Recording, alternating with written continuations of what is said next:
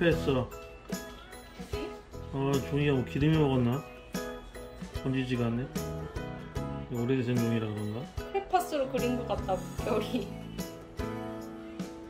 어왜 그래 이거 이거 뒷장인가? 나 아빠 아무도 모르잖아 의도한 거라 생각